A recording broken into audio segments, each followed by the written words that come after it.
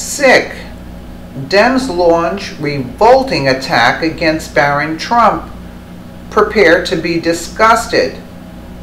The depravity of the Democrats is on full display yet again as they continue to ridicule a child.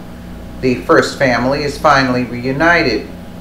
Melania and Barron Trump moved into the White House earlier this week. However, Barron was spotted playing with a fidget spinner as he ex uh, exited Air Force One, causing liberals to mercilessly mock him and imply that he's mentally handicapped.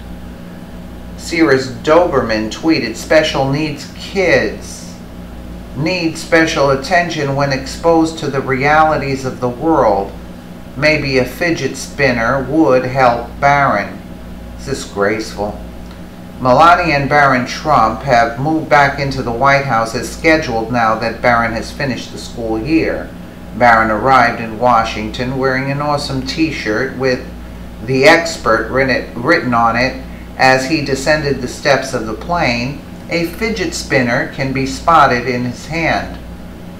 Fidget spinners are the hottest toy craze in America right now, and almost everyone under the age of 16 has at least one of the toys, much to the confusion of adults.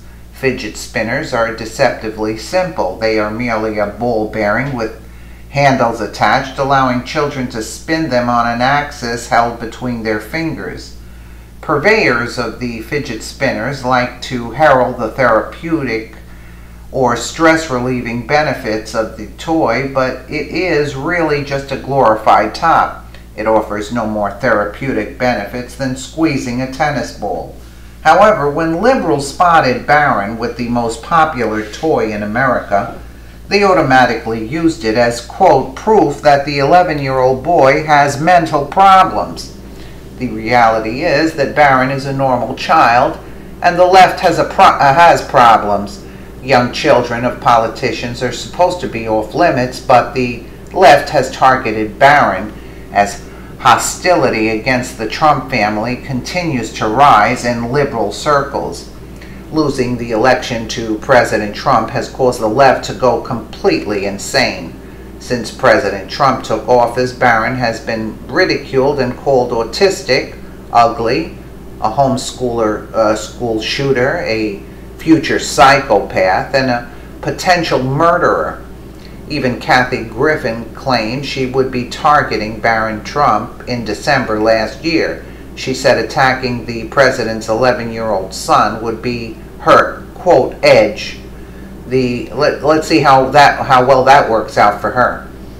The violent response to President Trump has revealed the true insanity of the left, leaving a sour taste in the mouths of the average American. The Democrats have lost all credibility and are now the party of fearmongers and bullies. Absolutely true. It's disgraceful disgraceful. Let's say the child was special needs. You don't ridicule that. I mean, it's disgraceful. Disgraceful. Let us know what you think in the comments below, and thank you so much for watching.